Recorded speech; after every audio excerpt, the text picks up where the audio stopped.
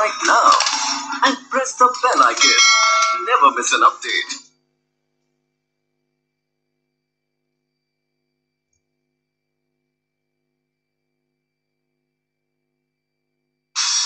Subscribe now and press the bell icon. Never miss an update. Warm good afternoon to all of you मैं जितेंद्र सिंह महिंद्रा स्वागत करता हूं दोस्तों आप सभी लोगों का महिंद्रा के ऑफिशियल यूट्यूब चैनल पर जैसा कि आप सभी लोग जानते हैं आज जो टॉपिक चल रहा है वो UP special UP UP special भी कह सकते हैं यूपी के लिए स्पेशल है और होली स्पेशल है बेसिकली और ये बेसिकली अगर देखा जाए तो दोस्तों, केवल यूपी लेखपाल और यूपी पुलिस के लिए जितने भी वनडे एग्जामिनेशन होते हैं, यहाँ तक कि इवन आपके एसएससी एसएससी एसएससी में आपके सी एच एस और सीजीएल चूँकि आप सभी लोग जानते हैं कि अप्रैल और मई दोनों की डेट शीट आ चुकी है ना? आपका सी एच एस और सी एच एस एल जैसे हम लोग एल डी सी भी कुछ लोग जानते हैं लो डिवीज़न क्लर्क और सी जी एल दोनों लोगों दोनों की, दोनों एग्ज़ाम्स की, दोनों ही बहुत ही ज़्यादा मोस्ट अवेटेड बच्चा लोग वैकेंसीज हैं। दोनों की डेट शीट आ चुकी है, आप सभी लोग ज़बरदस्त तरीके से प्रिपरेशन कर ही रहे होंगे।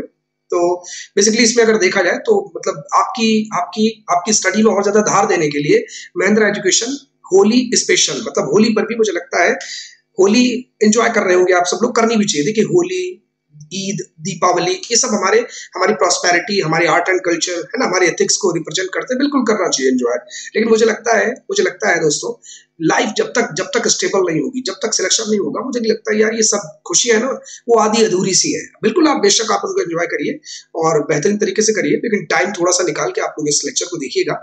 और मेरी तरफ़ से कोशिश ये रहेगी, आप लोग भले ही सामने नहीं है भले ही सामने नहीं है, लेकिन फिर भी मैं चाहूँगा कि मतलब एमसीक्यू न करा के हम लोग करें ना, हम लोग हम लोग, चलो क्या करें, वैसे तो हम लोग की सीरीज़ चल रही है, इस समय बायोलॉजी की आप लोगों को पता होगा, लेकिन एक छोटा सा हम लोग टॉपिक लेकर के आएँगे, छोटा सा टॉपिक लेकर के आएँगे, और उस टॉपिक को दोस्तों डिस्कस करेंगे कंटेंट को यहाँ पर डिस्कस करेंगे, आप सभी लोग एंजॉय करिएगा, और हर पल मेरी कोशिश यही रहेगी कि आप भले ही सामने नहीं, लेकिन फिर भी मैं मैं जानता हूँ कि बच्चा स्टूडेंट कैसे पूछेगा, क्या क्वेश्चन बच्चे की तरफ़ से हो सकता है, और मैं कोशिश करूँगा सारे सारे क्वेश्चन को अपने आप एक्सेप्ट करने की है ना? मैं कोशिश करूँगा आप लोग खुद, आप देखिएगा इस बात को आप भी महसूस करेंगे। चलिए, शुरुआत करते हैं दोस्तों।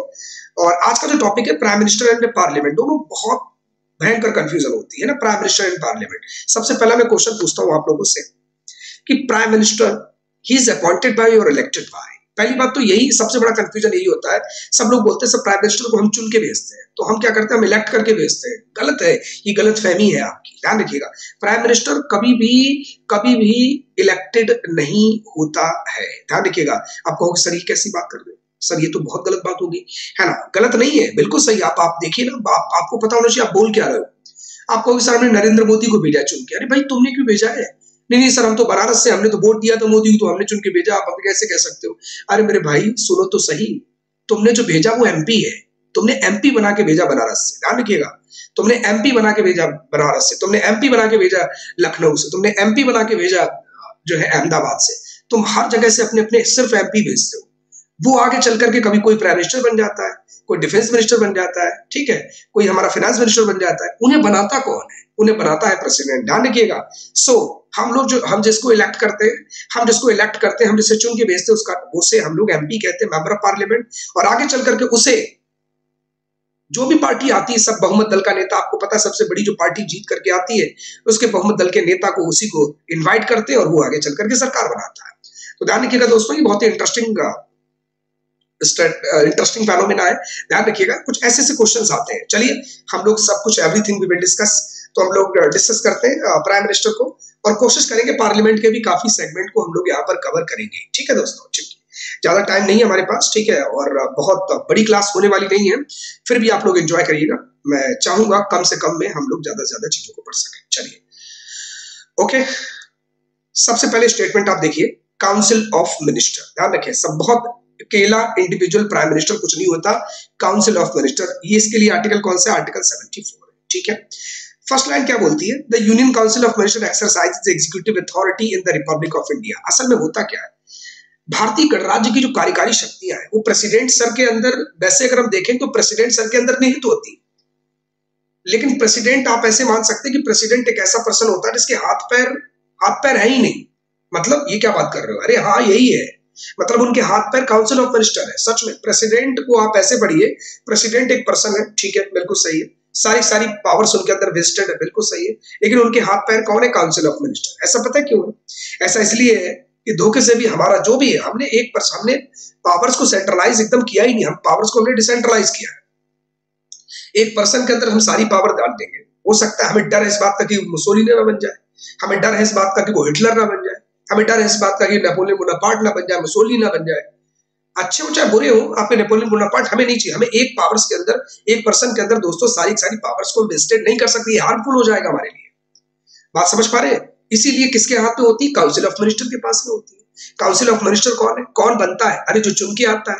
चुन के कौन आएगा? जो लोकप्रिय होगा, जो पॉपुलर होगा पॉपुलर कौन होगा? जो जनता के लिए अच्छा काम करेगा। अरे तभी तो डेफिनेशन पूरी होती, जनता का शासन जनता के द्वारा और जनता के लिए। बस यही सिंपल सा फेनोमिना ठीक है दोस्तों, ध्यान रखिएगा। इसीलिए कहा जाता है, हमारे एग्जीक्यूटिव सिस्टम का हेड कहा जाता है किसको प्रेसिडेंट सर को बट रियल हेड हम जिसको कहते हैं, वो कौन है? वो है प्रधानमंत्री। वही स्टेट में अगर हम आ जाए तो हेड कहा जाता है गवर्नर को बट रियल जो हेड है दोस्तों, ध्यान रखिएगा बच्चों वो कौन सा है? वो होता है मुख्यमंत्री। छोटे छोटे कॉम्प्लिकेशन होते हैं। ठीक है, चलिए। ओके नेक्स्ट लाइन हम लोग पढ़ते हैं। एक बार मैं चेक कर लू, ये सब कुछ ठीक है प्रॉपर है। चलिए ओके प्रॉपर है। ओके चलिए। सेकंड लाइन बोलती है, इन अच्छा एक चीज़ नोटिस करिएगा। मेरी बात बड़ी गौर से समझिए काउंसिल ऑफ़ मिनिस्टर वैसे देखा जाए तो बहुत बड़ा मतलब काफ़ी बड़ा नंबर्स होता है, ठीक है? अब इतने सारे लोग, अब, और आप लोग ये भी जानते हैं कि जो पॉलिसी मेकिंग होती है, जैसे प्रधानमंत्री कोई नया कुछ भी नई, जैसे नोटबंदी हुई थी अब आपको लगता है कि नोटबंदी सबको बताया होगा। सारे मिनिस्टर्स को भी मतलब minister in the sense of आप कहो कि अपोजिशन के लीडर को भी पता हो, है ना? आपको पता हो कि डेप्टी मिनिस्टर्स को भी पता हो, आपको पता हो कि सारे मिनिस्टर ऑफ़ स्टेट्स को भी पता हो, ऐसा ज़रूरी बिल्कुल नहीं है। लेकिन कैबिनेट मिनिस्टर्स को पता होगा। तो ये ये कैबिनेट मिनिस्टर क्या होते हैं? होते हैं, कुछ कुछ मिनिस्टर्स होते हैं, जो हमेशा प्रधानमंत्री के साथ रहते हैं। हर छोटी छोटी बड़ी सी बात के लिए बड़ी से बड़ी छोटी छोटी बड़ी से बड़ी बात के लिए जितनी मीटिंग्स होती हैं, सबको वो लोग क्या करते हैं? सबको वो लोग रेगुलेट करते हैं, हमेशा साथ रहते हैं। तो साहब इनको क्या बोलते हैं? इनको बोलते हैं कैबिनेट मिनिस्टर तो इसका एक क्लासिफिकेशन होता है। पहले मैं क्लासिफिकेशन करा देता हूँ, ताकि आप लोग कभी कंफ्यूज ना हो। देखिए। ध्यान रखिएगा दोस्तों, एक होते कैबिनेट कैबिनेट एम कर देता हूँ मिनिस्टर कैबिनेट मिनिस्टर्स वो मिनिस्टर होते हैं जिनके नाम, जिनके ऊपर आप ऐसे समझिए, आप ऐसे समझिए मतलब एक डिपार्टमेंट के जो पूरे हेड होते हैं, है ना? मान के चलो, जैसे डिफेंस मिनिस्टर हो गए, है ना? जैसे आपके जो, चलो होम मिनिस्टर हो गए, है ना? जैसे आपके मतलब यहाँ पर अगर देखा जाए फाइनेंस मिनिस्टर होगी, ठीक है, निर्मला सीतारमन। तो ये ना कैबिनेट कैबिनेट मतलब होता है इनकैप्सुलेट फ्रॉम अदर्स ये सबसे टॉप गवर्निंग बॉडी है, आप ये समझिए। हमेशा प्रधानमंत्री एंड ऑल ये सभी लोग एक साथ रहते हैं। हमेशा जितनी भी पॉलिसी मेकिंग होती है सब लोग मिलकर के करते हैं। चलो ठीक है। फिर कई कबार आप लोगों ने देखा होगा, अपने शहर के अंदर बैनर पे लिखा होता है मिनिस्टर ऑफ़ स्टेट आपने देखा होगा राज्य मंत्री, है ना? राज्य मंत्री, अब यार ये क्या होते हैं? कुछ नहीं है। कैबिनेट मिनिस्टर आपने देखा होगा, कई बार देखा गया, जैसे जैसे फाइनेंस मिनिस्टर है। अब फाइनेंस मिनिस्टर एक होगा कैबिनेट मिनिस्टर और उसके सपोर्ट में एक और मिनिस्टर होता है, जिसे हम बोल लेते हैं मिनिस्टर ऑफ़ स्टेट अब ये भी दो तरीके का होता है। एक होता है, दोस्तों जिससे बोलते हैं डिपेंडेंट चार्ज और इंडिपेंडेंट चार्ज कुछ अंतर नहीं है, एक बार सर्च करिएगा, फिर भी ना समझ में आए तो एक बार टेलीग्राम चैनल पर हमसे पूछ लीजिएगा ठीक है। चलिए हम आपको बता ही देते हैं। Independent charge dependent charge dependent charge वो होता है कि जो कैबिनेट मिनिस्टर के अंडर में हो। मेरी बात बड़ी गौर समझिएगा, जो कैबिनेट मिनिस्टर के अंडर में हो। जैसे सपोज़ दैट एग्जांपल मान लो, अगर निर्मला सीतारमन जी अभी हमने क्या किया है, वो इस समय फाइनेंस मिनिस्टर है, ठीक है? चलिए। निर्मला सीतारमन कौन है? फाइनेंस मिनिस्टर वो इस समय क्या है? कैबिनेट मिनिस्टर है, ठीक है? अब हमने क्या किया? एक मंत्री ले लिया जिसका नाम है एक्स वाई जेड क्या नाम है? एक्स वाई जेड अब हमने इस मंत्री को इनके अंडर रख दिया। तो ये क्या बनेगा? ये पहली बात तो इसको हम कहेंगे एमओएस एमओएस मतलब मिनिस्टर ऑफ़ स्टेट काय के लिए बनाया गया, इनकी हेल्प के लिए, क्योंकि इनके पास सिग्नेचर अथॉरिटी होती है, इनके पास मीटिंग से इनको फुर्सत नहीं होती कुल मिला अगर देखा जाए तो शायद ध्यान नहीं दे पाते, इसीलिए दोस्तों यहाँ पर क्या होता है मिनिस्टर ऑफ़ स्टेट एक सिर्फ़ एक वर्डिंग से इनकी हेल्प के लिए ही बनाए जाते हैं। अब अंतर जो कॉम्प्लिकेशन आते हैं, वो ये आते हैं दोस्तों, एक होता है डिपेंडेंट और इंडिपेंडेंट मैं आपको इनके बीच में अंतर बता दूँ। आपने यहाँ पर क्या किया? निर्मला सीतारमन कैबिनेट मिनिस्टर है, ठीक है? अब उनके नीचे एक एक्स वाई जेड आपने क्या बना दिया? मिनिस्टर ऑफ़ स्टेट बना दिया। तो ये क्या हो गया? ये हो गया डिपेंडेंट ये क्या हो गया? डिपेंडेंट और कुछ ऐसे डिपार्टमेंट होते हैं, जैसे अर्थ साइंस अर्थ विज्ञान। वो उसके क्या है? डॉक्टर जितेंद्र सिंह देखा होगा, अगर आपने नाम सुना हो। वो क्या है? वो उसके मिनिस्टर ऑफ़ स्टेट है। उनके ऊपर कुछ वो किसी को रिपोर्ट ही नहीं कर रहे हैं। मेरी बात बड़ी गौर समझिएगा।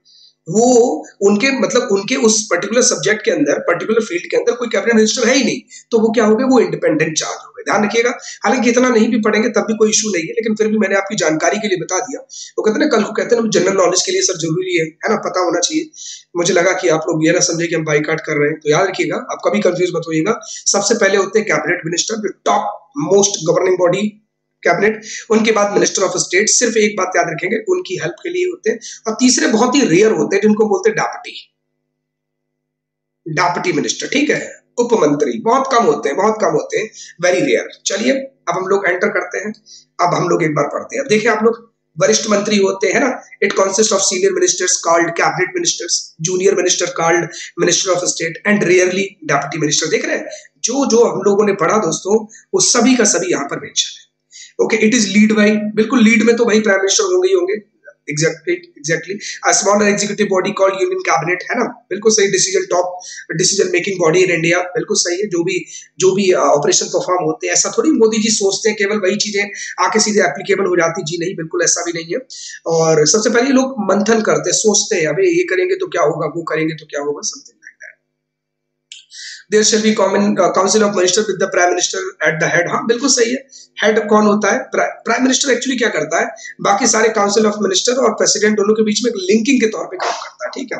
और यहाँ तक कि आपकी संसद के अंदर पार्लियामेंट के अंदर जो भी ऑपरेशन परफॉर्म होता है it is responsibility of a prime minister ये प्रधानमंत्री का नैतिक दायित्व बनता है कि उन सभी की एक कॉपी को भेजे किसके पास? प्रेसिडेंट सर के पास में कि ये हो रहा है, ऐसे हो रहा है मतलब जो भी है ये सब उनका अधिकार है। अब हम लोग सीधे फोकस होते हैं प्राइम मिनिस्टर के ऊपर। आर्टिकल कौन सा है दोस्तों? ध्यान रखिएगा seventy five only the prime minister and the minister of the rank of the cabinet ministers members of the union cabinet are the according to the article मतलब कुल मिला के प्राइम मिनिस्टर के जो अपॉइंटमेंट के लिए आपका 75 है। ठीक है? Okay the prime minister shall be देख पा रहे हैं आप लोग? ये लाइन देख पा रहे हैं prime minister shall be appointed by the president बस ये बहुत इंपॉर्टेंट है। So now we can say that prime minister is not elected by appointed by elected by MP होता है। दोस्तों, ध्यान रखिएगा बच्चा जो भेजा, वो आपने भेजा और हमने जो भेजा, वो जो बंदा है, वो एमपी है। हमने जिसको इलेक्ट किया, वो एमपी मुझे लगता है आप लोग समझ पा रहे होंगे।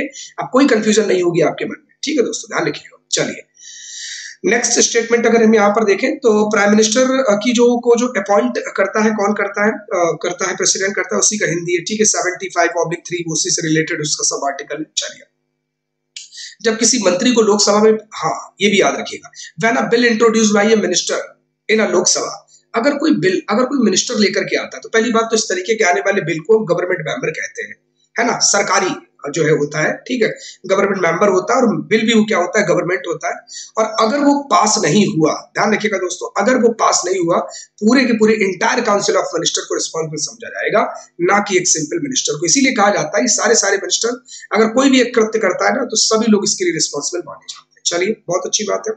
नेक्स्ट स्टेटमेंट uh, कहता है दोस्तों the council of minister upon upon losing confidence of the Lok Sabha हाँ ये भी इंपॉर्टेंट है। ध्यान रखिएगा दोस्तों असल में सरकार तभी तक रहेगी तभी तक रहेगी council of minister collectively responsible होते हैं लोकसभा के प्रति। ध्यान रखिएगा, ये मतलब एक से एक मतलब गोल्डन लाइन्स हैं आप लोगों के लिए। ध्यान रखिएगा दोस्तों मतलब जो गवर्नमेंट है, सरकार तभी तक रहेगी जब तक उसका लोकसभा के अंदर बिलीव है। जिस दिन बिलीव खत्म, उस दिन खेल खत्म, है ना? ध्यान रखिएगा, पूरी पूरी गवर्नमेंट को इस्तीफा देना पड़ेगा। Minister shall not be take any decision without being considered the हाँ अनुच्छेद 73 ऑब्लिक सी के अनुसार कोई भी मंत्री मंत्री परिषद द्वारा विचार किए बिना निर्णय नहीं ले सकता। बिल्कुल सही बात है, सब लोग यूनाइट रहेंगे। भाई एक करेगा तो फंसेंगे सारे तो फिर डिसीज़न मेकिंग भी क्या होगी? सब लोग मिलके ही रहेंगे। लेंगे। अब एक बात याद रखिए यहाँ से एक स्टेटमेंट और पीछे चलो। एक स्टेटमेंट और समझिएगा, हमेशा ध्यान रखिएगा। आज अगर प्रधानमंत्री चाहे इमरजेंसी लगा दे, नहीं लगा सकते, ध्यान रखिएगा। हालाँकि अगर हम देखें कि 1975 1975 के अंदर जो इमरजेंसी लगाई थी किन्होंने इंदिरा गांधी मैडम ने वो गलत थी। उसके अंदर केवल पीएम के कहने, अरे हम भूल जाते हैं कि पीएम भी तो एक इंसान ही है। हमने क्या किया दोस्तों? 1975 की इमरजेंसी के बाद हमने तुरंत कॉन्स्टिट्यूशन के अंदर अमेंडमेंट किया। अब प्रेजेंट टाइम पे क्या होता है? Council of minister council of minister हमेशा ध्यान रखिएगा मेजोरिटी से काउंसिल ऑफ़ मिनिस्टर लिखित अनुमोदन देगी, केवल पीएम के कहने से नहीं लगेगा, ताकि जवाबदेही सुनिश्चित की जा सके। कल को हमें पता चलेगा कि इमरजेंसी गलत लगी तो कम से कम गिरेवान तो पकड़ सके। ठीक है दोस्तों, ध्यान रखिएगा, चलिए।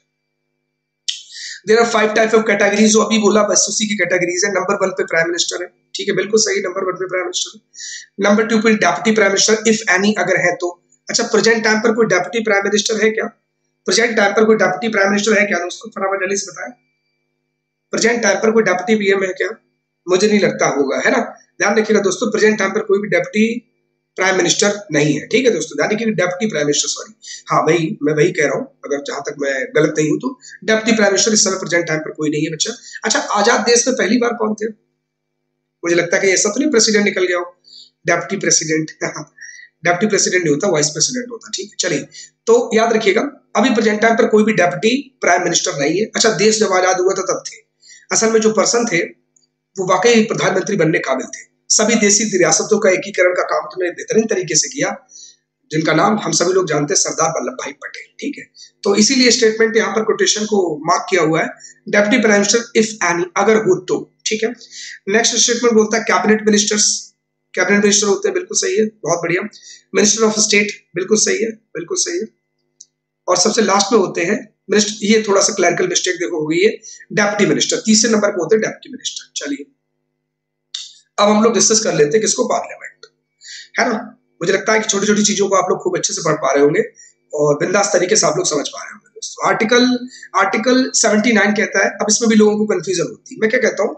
इसके ना दो चैम्बर बनाओ। कितने चैम्बर बनाओ बच्चों दो चैम्बर बनाइए। ये हमारा पार्लियामेंट है, इसके दो पार्ट्स हैं। एक है राज्यसभा एक है लोकसभा। अब इन दोनों अपर हाउस कौन सा है? ऑब्वियसली राज्यसभा लोअर हाउस कौन सा है? ऑब्वियसली लोकसभा अब पार्लियामेंट के लिए आर्टिकल कौन सा दोस्तों सेवेंटी नाइन है। तो पहले कौन सा आएगा? अपर आएगा ना? तो अपर आएगा। अपर के लिए कौन सा हो गया? एक जोड़ दो एट्टी उसके बाद लोअर आएगा। अपर के बाद अब लोअर आएगा। लोअर के लिए कौन सा आर्टिकल आर्टिकल एट्टी वन तो क्या प्रॉब्लम बताइए? हो गया सिंपल है। बात समझ पा रहे नहीं समझ पा रहे। ध्यान रखिएगा। अब कभी कोई आपसे पूछे there shall be parliament in India Bharat के अंदर एक एक संसद होगी। इसके लिए कौन सा आर्टिकल है? बड़ी आराम से एग्जैक्टली आप बोलोगे सेवेंटी नाइन खत्म फिनिश्ड अगर कोई आपसे पूछे, राज्यसभा के लिए आर्टिकल कौन सा है? बड़ी आराम से आपको बोलना बच्चा लोग क्या है? आर्टिकल एट्टी है. अगर कोई आपसे बोले कि लोकसभा के लिए कौन सा आर्टिकल बड़ी आराम से दोस्तों आपको बोलना एट्टी वन कोई प्रॉब्लम कोई कंट्राडिक्शन कुछ है ही नहीं इसके अंदर. ओके चलिए. अच्छा इंडियन पार्लियामेंट मिलकर के बनता है। किससे मिलकर के बनता है? प्रेसिडेंट राज्यसभा लोकसभा अब फटाफट सोचे. प्रेसिडेंट राज्यसभा लोकसभा लोकसभा राज्यसभा प्रेसिडेंट अब सिंपल है, देखो. कानून बनता कैसे है? पार्लियामेंट से जाता सिग्नेचर के लिए प्रेसिडेंट सर के पास। जब तक प्रेसिडेंट सर सिग्नेचर नहीं करेंगे, तब तक वो कानून बनने वाला नहीं है। ध्यान रखिएगा दोस्तों, तब तक वो कानून बनने वाला नहीं है। तो इसीलिए प्रेसिडेंट इंटीग्रेटेड पार्ट होता है। ठीक है, हालाँकि वो बैठता अलग है प्रेसिडेंट हाउस अलग है, लेकिन ध्यान रखिएगा। चलिए, संसद भवन जो हमारी है, उसको एडविन लुटियंस ने और हरवर्ड बेकर ने बनाया था। अब तो हालाँकि आप नया बन चुका है है ना? आप लोगों ने देखा होगा।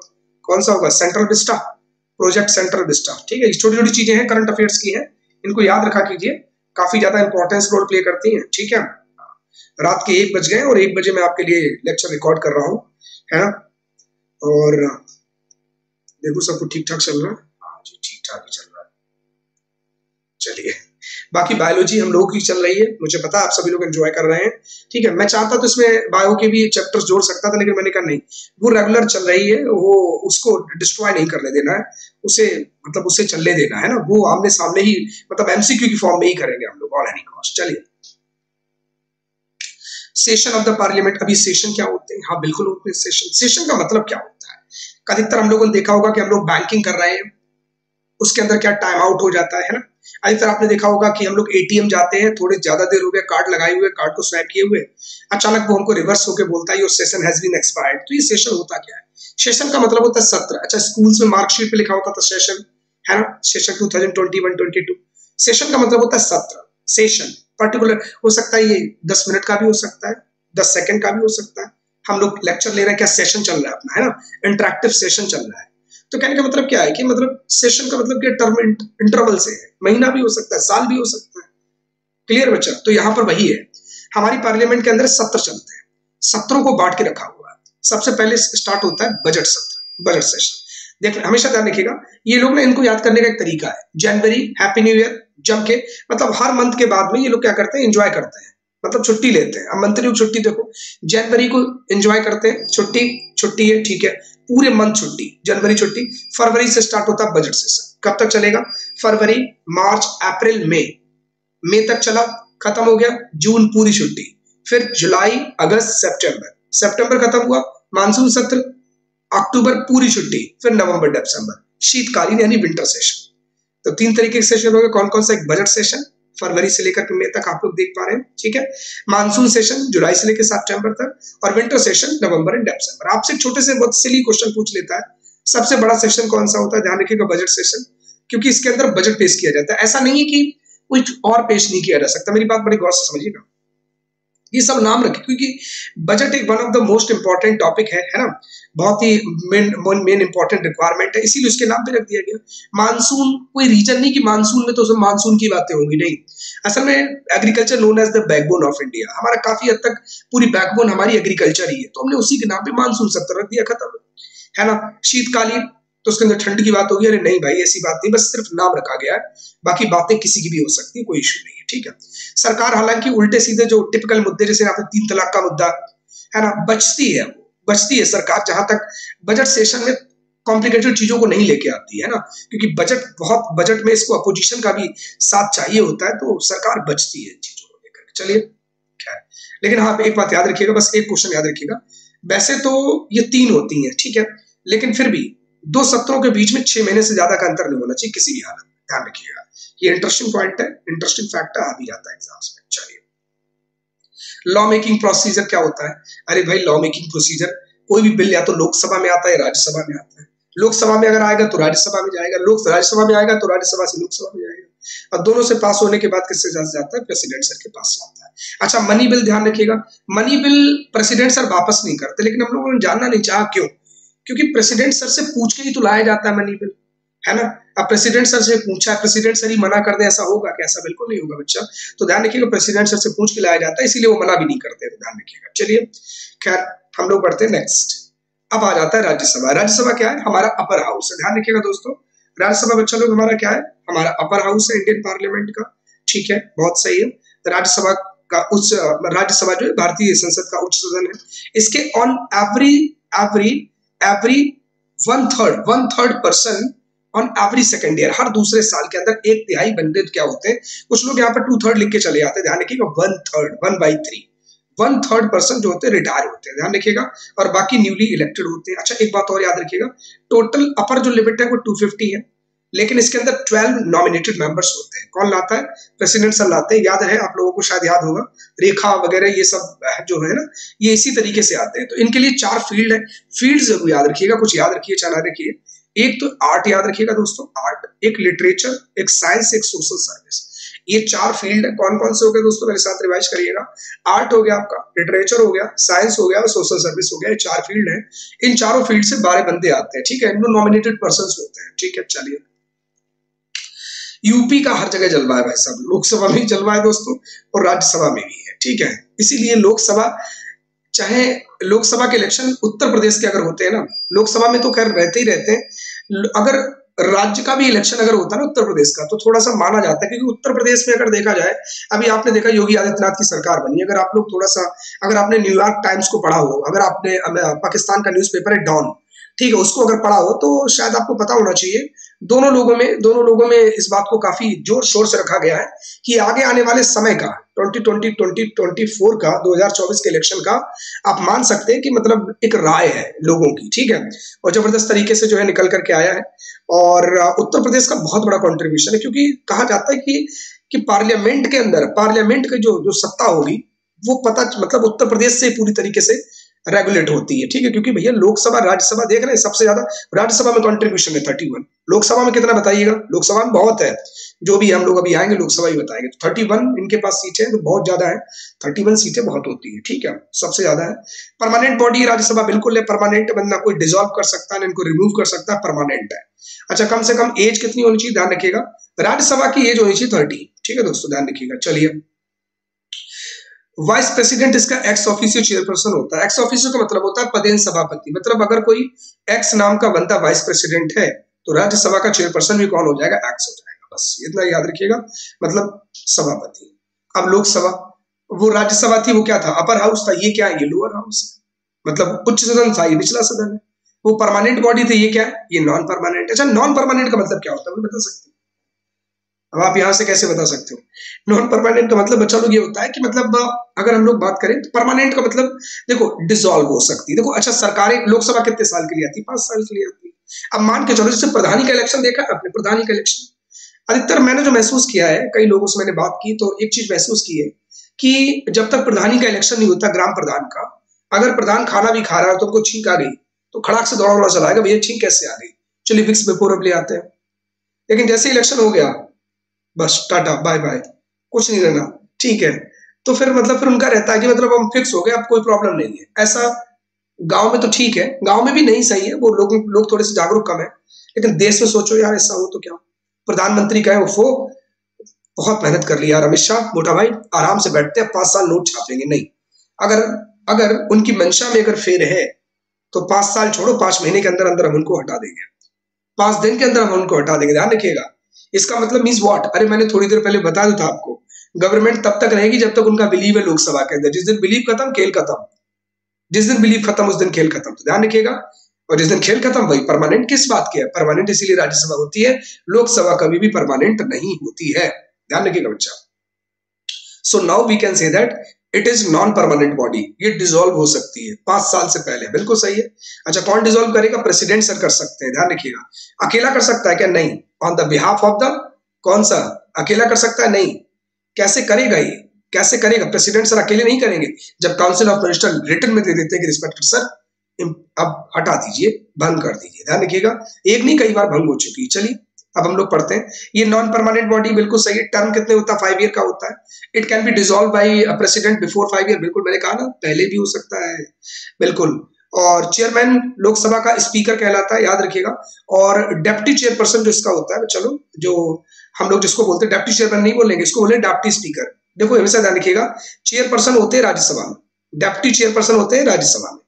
यहाँ पर होता है स्पीकर और डेप्टी स्पीकर इन दोनों का ये होता है स्पीकर अपना इस्तीफा किसको देता है? डेप्टी स्पीकर को। और डेप्टी स्पीकर दोस्तों किसको देता है? स्पीकर को देता है। ये लोग आपस में ही इस्तीफा एक दूसरे को दे देते हैं, ठीक है? लोकसभा की अपर लिमिट क्या है? फाइव फाइव टू याद रखिएगा, इसके अंदर से दो अब नहीं रहेंगे, ठीक है?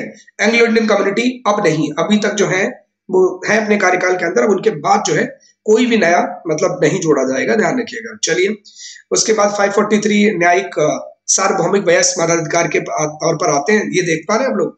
दो सदस्य टू मेंबर्स भारत के राष्ट्रपति द्वारा एंग्लो इंडियन कम्युनिटी है ना? बिल्कुल अब इनको डिसकंटिन्यू कर दिया, बहुत हो चुका है इन लोगों का सपोर्ट ठीक है है ना? UP has the upper limit in Lok Sabha 80 बिल्कुल सही। वहाँ पर कितना था? राज्यसभा के अंदर 31 था। यहाँ पर कितने? 80 बहुत बड़ी स्ट्रेंथ होती है। अच्छा राज्य लोकसभा यहाँ इसको याद करने का तरीका मैं आपको बताऊँ। लोकसभा के अंदर सदस्य चुने जाने की एज है 25 राज्यसभा के अंदर भी क्या है? मान लो ट्वेंटी फाइव है। मान लो ना twenty five makers of the constitution ने सोचा कि लोकसभा में भी सभी लोग पच्चीस साल के नौजवान। राज्यसभा में पच्चीस साल के नौजवान। सभी लोग मिलकर प्रपोजल लेके आ रहे हैं कि भाई हनी सिंह को प्रेसिडेंट बनाते हैं। आए दिन प्रेसिडेंट सर के यहाँ से क्या होगा? नहीं रैप सुनाई देगी प्रेसिडेंट हाउस से। नहीं, बिल्कुल नहीं। मतलब देश चला रहे हो यार, देश को गवर्न कर रहे हो। बहुत ही सीरियस है ये। तो यहाँ पर दोस्तों क्या होता है, चलो ध्यान रखिएगा, राज्यसभा के अंदर मतलब मिच्योर कैंडिडेट चाहिए। तो ट्वेंटी फाइव से हटा के रिप्लेस कर दो थर्टी से। ध्यान रखिएगा, कुछ लोग प्रेसिडेंट गवर्नर में भी कंफ्यूज हो जाते हैं। अरे भाई मेरे प्रेसिडेंट सर की जो एज होती है ना प्रेसिडेंट बनने की, कम से कम थर्टी फाइव होनी चाहिए। गवर्नर के लिए भी क्या है? थर्टी फाइव है। राज्यसभा के लिए थर्टी है। लोग कंफ्यूज पता नहीं क्यों कंफ्यूज हो जाते हैं। नहीं होना है, ठीक है दोस्तों? तो लोकसभा की, अब याद रखिएगा, अब हमेशा ध्यान रखिएगा फिर से मिटा के मैं करता हूँ। लोकसभा का सदस्य चुने जाने के लिए कम से कम एज होनी चाहिए ट्वेंटी फाइव और राज्यसभा के लिए चुने जाने के लिए कम से कम एज होनी चाहिए थर्टी एंड गवर्नर के लिए होनी चाहिए दोस्तों थर्टी फाइव एंड प्रेसिडेंट के लिए होनी चाहिए प्रेसिडेंट के लिए होनी चाहिए thirty five I hope you understand मुझे लगता है आप लोग बात, इन बातों को समझ पाए होंगे। चलिए। Speaker is a member of Lok Sabha. बिल्कुल सही कहा। स्पीकर जो होता है, लोकसभा का मेंबर होता है normally he does not vote ये बड़ी इंटरेस्टिंग बात है दोस्तों. नॉर्मली ये वोट नहीं करता, है ना? जैसे सपोज़ दैट अगर कहीं पर वोटिंग हुई, अब यहाँ से बंदे खड़े, इनको 174 वोट मिले, इनको भी 174 वोट मिले। मतलब मामला क्या हो गया? टाई हो गया, एकदम टाई हो गया। अब ऐसी सिचुएशन के अंदर क्या होता है? आमतौर पर ये वोट नहीं करता। आपने देखा होगा, आपने देखा होगा, बिल्कुल देखा होगा, ओम बिरला को देखा होगा। एक ऊँची सीट पर बैठे होते हैं, बहुत ही ऑनरेबल पोस्ट होती है स्पीकर की। और बहुत ही पावरफुल है। तो ये नॉर्मली वोट नहीं करते हैं, लेकिन बराबर होने की दशा में, ध्यान रखिएगा दोस्तों, बराबर होने की दशा में निर्णायक मत देने का अधिकार होता है। इसीलिए इसी तरह के वोट को हम लोग बोलते हैं कास्टिंग वोट ध्यान रखिएगा कास्टिंग में यहाँ पर मेंशन कर देता हूँ। कास्टिंग बोर्ड ध्यान रखिएगा दोस्तों, इसी बोर्ड को कास्टिंग बोर्ड कहा जाता है कि मतलब वैसे तो नॉर्मली पार्टिसिपेट नहीं करते हैं, लेकिन बराबर होने की दशा में निर्णायक मत देने का अधिकार इनका होता है तो इसी को हम लोग क्या बोलते हैं दोस्तों कास्टिंग बोर्ड बोलते हैं। अच्छा एक और इंटरेस्टिंग फैक्ट याद रखिएगा स्पीकर जब भी अपना इस्तीफा देगा डिप्टी स्पीकर को, और डिप्टी स्पीकर देगा स्पीकर को। ठीक है दोस्तों, याद रखिएगा, बहुत ही इंटरेस्टिंग है। और बस आई होप सो कि आप लोगों ने एंजॉय किया होगा, है ना दोस्तों? स्पीकर के बारे में एक बात और याद रखिएगा कोई बिल, ये क्वेश्चन आता है, थोड़ा सा घुमा के पूछते हैं कि कोई बिल मनी बिल है या नहीं है? एक सिंपल सा क्वेश्चन आता है कि कोई बिल मनी बिल है या नहीं है? इस बात को कौन जस्टिफाई कर सकता है? ऑप्शन में दे रखा होगा प्रेसिडेंट दे देगा ऑप्शन में दे देगा वाइस प्रेसिडेंट दे देगा ऑप्शन में बहुत सारे सारे आपको ऑप्शन देगा, है ना? अब जैसे आप देखोगे ऑप्शन देखा साथ CJI chief justice of India option में प्रेसिडेंट ऑफ़ इंडिया तो आप आप वही लगा दोगे। ध्यान रखिएगा, किसी भी बिल की प्रकृति, अगर मनी बिल डिक्लेयर कर दी, किसने स्पीकर ने स्पीकर को ही अधिकार होता है, उसे, जो है डिक्लेयर करने का कि कोई बिल मनी बिल है या नहीं, ये पावर डिसाइड करने का जो अधिकार है, वो किसका होता है? स्पीकर को होता है। और स्पीकर ने अगर एक बार कर दिया तो उसके, उसकी प्रोसीडिंग को, उसकी कार्रवाई को कहीं पर भी चैलेंज नहीं किया जा सकता, यहाँ तक कि जुडिशरी में भी नहीं। आप कहें कि आप न्यायपालिका जाए, supreme court and high court वहाँ पर जाए, आप करें, बिल्कुल नहीं नहीं कर सकते आप। ठीक है दोस्तों, ध्यान रखिएगा। ये पार्लियामेंट था। जिस तरीके से और आप लोगों को करना क्या आगे चल करके, जैसे अगर हम लोग यहाँ पर बात करें, जैसे आप लोगों ने पढ़ा पार्लियामेंट। पार्लियामेंट के अंदर कौन है? लोकसभा है, राज्यसभा है। डिट्टो उसी तरीके से स्टेट्स के अंदर लेजिस्लेटिव असेंबली है। लेजिस्लेटिव काउंसिल मतलब विधानसभा, विधान परिषद। ध्यान रखिएगा दोस्तों डिक्टो डिक्टो डिक्टो लोकसभा, राज्यसभा, जैसे जो जो लोग, ये लोअर हाउस है। ये भी लोअर हाउस है, ये अपर हाउस है, ये भी अपर हाउस है। बात समझ पा रहे नहीं समझ पा रहे ठीक है? ये इसमें डायरेक्टली इलेक्टेड मेंबर्स आते हैं, इसमें भी डायरेक्टली इलेक्टेड मेंबर्स आते हैं, इसमें इनडायरेक्टली आते हैं, इसमें भी इनडायरेक्ट आते हैं। तो आपको ये सब ना कंपेरिजन करके पढ़ना है। आगे चल करके कभी टाइम मिला दोस्तों तो हम लोग राज्य विधानमंडल भी लेकर के आएँगे स्टेट लेजिस्लेचर भी, है ना? और आई होप सो कि आप सभी लोगों ने दोस्तों एंजॉय किया होगा, मस्त तरीके से पढ़ा होगा। ओके दोस्तों, मिलते हैं हम लोग नेक्स्ट क्लास के अंदर, और इसी के साथ thank you thank you and thank you to जय हिंद जवाहर प्यारे दोस्तों और एंजॉय करें, है ना? होली है सेलिब्रेट करें, ज़बरदस्त करें। लेकिन ख्याल रखें इस बात का कि एग्ज़ाम निकालना है हर हालत में, है ना? माँ बाप को खुशी देनी है, गुरुओं को खुशी देनी है, अपनी ऑर्गेनाइजेशन को बताना है है ना? और बिल्कुल वो होगा सिलेक्शन से। मेरी बात बड़े गौर से समझिएगा। मतलब hard practice everybody knows everybody दोस्त दोस्तों hard practice make a man perfect हमने बहुत सुन लिया यार। अब ना एग्जीक्यूट करने का टाइम आ गया। मोटिवेशन तो बहुत हो लिया। ज़बरदस्त तरीके से पढ़े। बाकी महेंद्र एजुकेशन आपके हमेशा साथ है। ओके दोस्तों, मिलते हैं क्लास के अंदर। Thank you thank you and again जय हिंद जवाहर दोस्तों। Bye take care